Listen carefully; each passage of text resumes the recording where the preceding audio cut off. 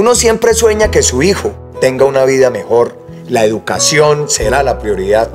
Implementaremos la jornada completa de 8 horas diarias en los colegios públicos e invertiremos en la formación de los maestros. Garantizaremos que todo bachiller pueda graduarse también con un título de técnico en el SENA.